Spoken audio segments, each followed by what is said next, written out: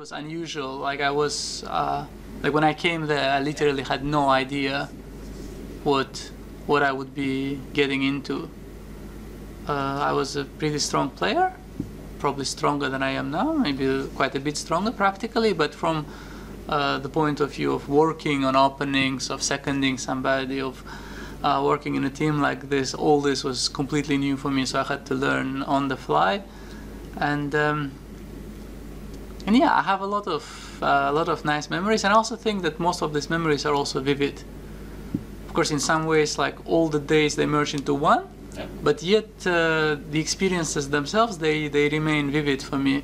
Like even small things, like you know what we, um, like even like snacks that we had during Yeah. during work and and uh, movies we watched in between in between and what we discussed and things we spoke about and even the music that was played. I mean, these things I somehow find difficult to forget. So all this is still very vivid for me. Right. Um, nowadays, you work for uh, Caruana, for Fabi. Um, can you tell us a bit on how working for him is different than working from Vishy? Also considering, of course, they're different uh, characters, but also considering that technology has changed. I think technology changed less um, uh, than you would think. Um, that is like we worked a lot with computers and we still do. Uh, whatever we did without computers, we still try to do. Um, I think the more uh, of a difference is that when I started working for Vishy, uh, Vishy definitely was a fully grown adult, um, uh, older than me by by a bit, and uh, not a man that you have to to help to get organized and disciplined in work. It was more the other way around.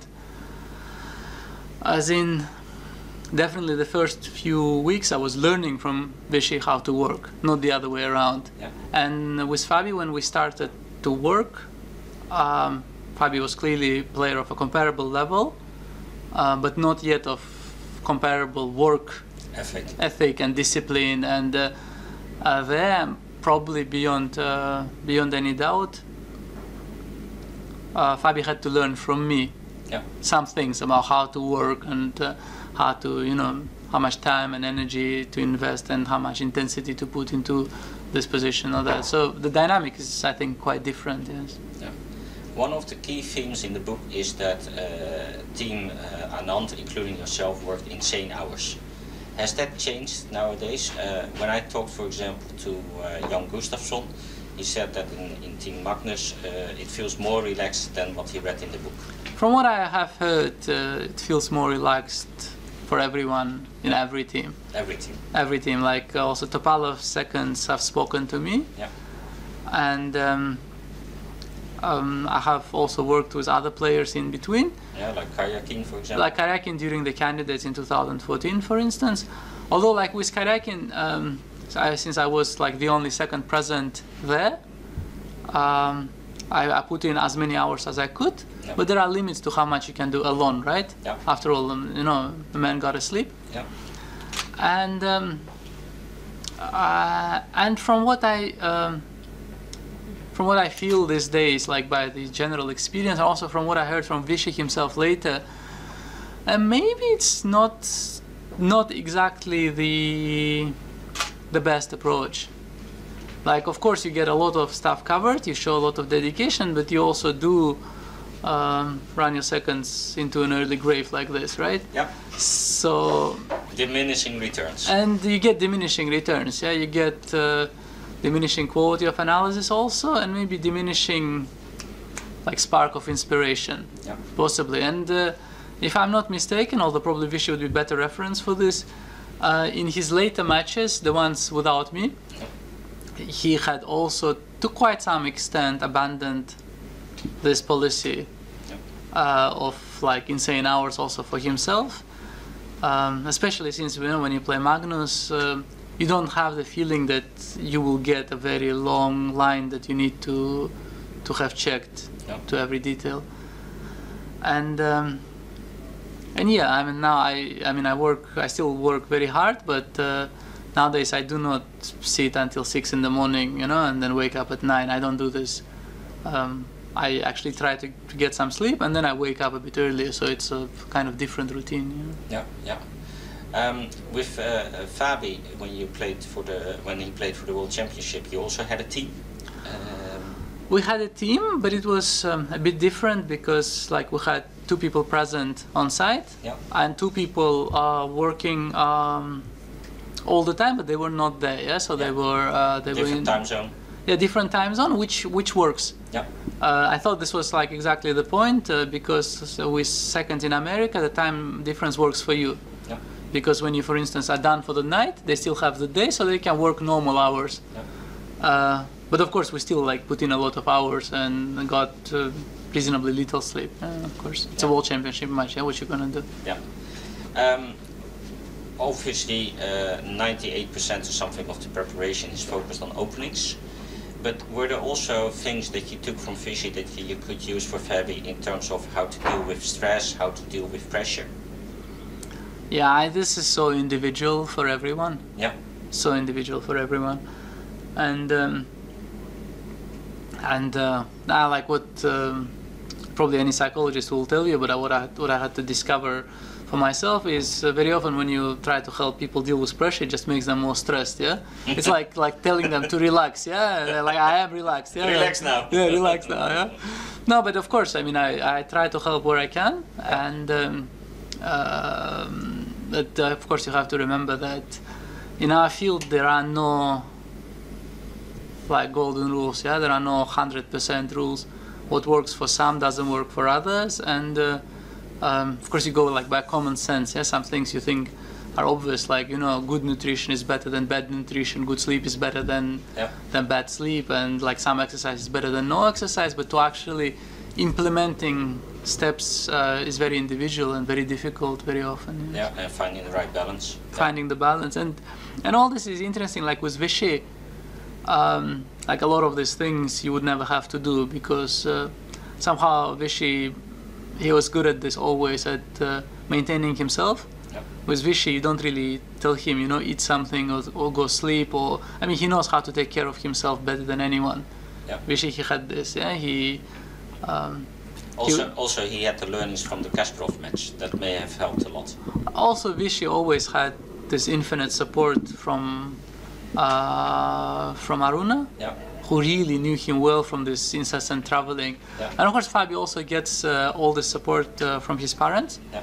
Uh, but his parents do not often travel with him these days, yeah. So it's a bit different, but but still, like Fabi still has a, a big team, a big wave of support behind him. Or, but you just you, cannot just start comparing these people are just too different individually. Yeah. Let's talk a bit uh, uh, uh, about yourself. Uh, you were a top player. You won the FIDE Knockout World Championship. Then uh, you've risen uh, as one of the top trainers in the world with first Vishy and, and now Fabi. How do you feel that those kind of things interact? Are you still active as a player? I see you play sometimes Bundesliga, but do you feel your level is impacted by all your training activities? It definitely doesn't help. It definitely doesn't help. Um, quite uh, a big part of uh, of the playing level, Yeah. as I had to discover. Although you would think it's obvious, but I somehow had to discover it the hard way. Um, quite a big part of it is is training. It's not. There is no such thing as level. Yeah? There is no such thing as you know one guy is stronger than the other. Yeah. You have to whatever level you have, you have to keep it maintained. You have to train it. You have to polish it, and it's a bit like. Um, like one runner can be faster than the other by half a second or by a millisecond or by one hundredth of a second but if the runner hasn't run for a year then he would not be able to run right so it is um, it is a part of it and as a coach you lose quite a bit of the practical strength Yeah. practical strength that just comes from training and playing and for instance for me the last tournament i played was uh, was isle of man and the next tournament I will play might be another half a year from now. So you So- missed the routine. I miss the routine in such a way that whenever I sit down to play, it feels a bit foreign, feels difficult. And despite the fact that like my openings are now better, my general understanding is probably better than it used to be, uh, but all these things they are not the practical strength. Practical strength co- contains ability to make decisions, ability to um, to adjust, all these things that that need constant practice. Yeah. So in a way, yeah, I am missing all of that. Yes. Okay. Is it also impacting one other thing that I was wondering in in Team Vishy?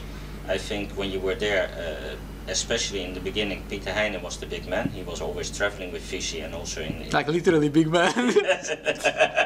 yes, but nowadays I think you are that for Fabi. Yeah, you're the main person. When you start preparing for a, a match or candidate tournament, direction setting is maybe even more important before you start actually the work. How do you do that? How do you start direction setting in terms of what type of openings? Is that discussions you have with Fabi? And do you still need your own playing strength to be used for that to see where are the new developments? Yeah, I mean, very often um, it. I mean, some directions they come from um, me having some ideas in some lines. No. Uh, so very often um, um the way it works is okay. It's also logical, yeah. Yeah. Uh, Fabi, is the better player, Yeah. so he gets to play. Yeah. And my part is uh, this analytical and the ideas and so on. So there, I kind of gave, give the general direction. Yeah. So sometimes even you know like what openings to play uh, would be a bit dependent by by what I somehow analyzed myself or what I learned or sometimes even what I heard from others. Yeah. Like for instance, somebody tells me something, it looks interesting, and then uh, two weeks later, Fabi ends up playing this. Uh, because uh, okay, playing chess is very difficult, and in such a way, he finds some ease in trusting me with you know my ideas, my directions. Yeah. In such a in this way, Fabi is a very gratifying pupil. Yeah. He he trusts me. Yeah. And, and you can apply a lot of creativity in, in generating new ideas. Yes, I can I can I can generate new ideas, and normally he he plays them. Yeah. I mean, I've also had other experiences that you know you show somebody ideas and they don't like your ideas because they prefer their own ideas, Yeah. which is fair enough. But then, kind of the works, the second's work is a bit uh, futile. Yeah, it's a bit uh, fruitless. it's more limited towards just uh, feeding the computer. Maybe, yeah. Yeah. But like this, okay, I, uh, I I still to this day I think I find a lot of ideas. Fabi is ready to play them, so it's kind of nice. And every now and then he does get them, Yeah. And this is very gratifying. Yeah. So for the next period, we'll see you continuing as a trainer and helping Fabi, and every now and then, on a rare occasion, playing yourself. Well, uh, yes, uh, this is the plan, but uh, of course we have the candidates in front of us now, Yeah. and candidates is a really, really, really big thing. Yeah. Uh, I mean, my personal opinion, uh, with due respect to all the other tournaments, candidates is the only tournament of the calendar that matters. Yeah. Because it's the one that determines who plays the world championship match, Yeah. and everything else is um, it's just No, noise in the background. not quite noise, but it is a bit of the background. Yeah, it is necessary, but it is not decisive. The decisive is really this one thing, Yeah. and that's why, of course, people who who miss their spot in the candidates, they, um, I mean, they take it hard. Like the top players who win a lot of tournaments, if you don't get to the candidates, it's almost like you know you missed another two years Yeah. in following your dream. Yeah. Um, and um, and this uh, candidates being of this importance, of course, will determine a lot Yeah. like qualifying or not qualifying for the world championship match has major implications for what your year Yeah. will look like. Yeah. So yeah, if we qualify for the world championship match, which is of course the intention, Yeah. Then uh, there will probably be a lot of work and very little play in the remaining of the of the year. Otherwise, I don't know. I actually still want to play a bit of chess. Yeah. Um, and um, also, this is the year of the Olympiad. Yeah. Last year, was it? No, two years ago, yeah? Yeah. When I played the Olympiad, I was very rusty. And I had a lost position every game. every round, every game, I had a lost position. I had to defend white, black, no matter the opponent, I had a lost position. I did not enjoy it very much. Yeah. Uh, although, of course, developed my defensive skills, but uh, I did not enjoy this very much. So I hope this year at least to play one tournament before the Olympiad, Yeah. get some training done so that I can, you know, represent my country a bit better. Excellent. Thanks for your time, Rustam. Thank you.